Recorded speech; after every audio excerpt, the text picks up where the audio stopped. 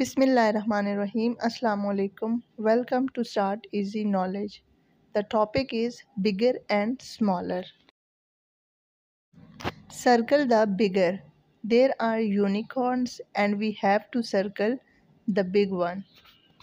On the right hand, this one is bigger and on the left hand, this one is bigger. Circle the bigger glowworm and circle the bigger soap.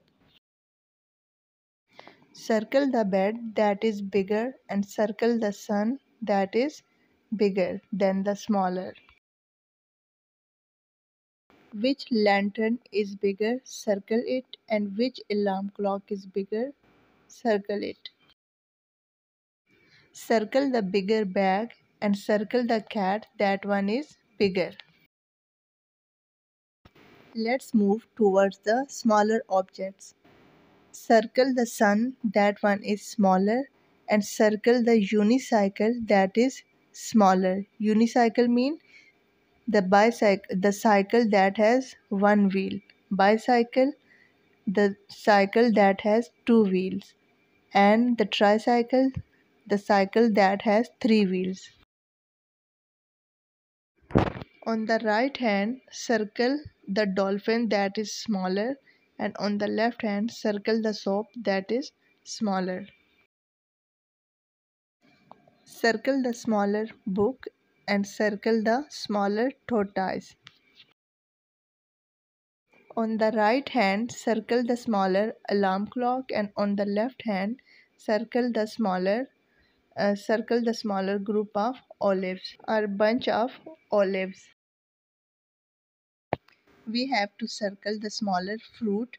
On the right hand, circle the smaller pineapple and on the left hand, circle the smaller mango.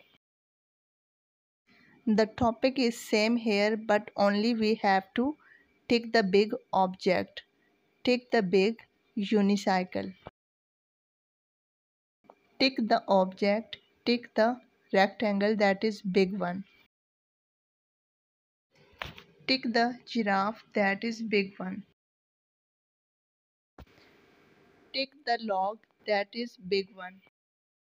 Take the bigger telephone. Cross the girl that is smaller. Cross the small star. Cross the lens or light that is small one. Cross the small diamond.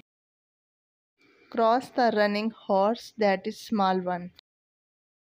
I hope you understand the concept of big and small very well. That how you have to use circle the things, cross the things and tick the objects.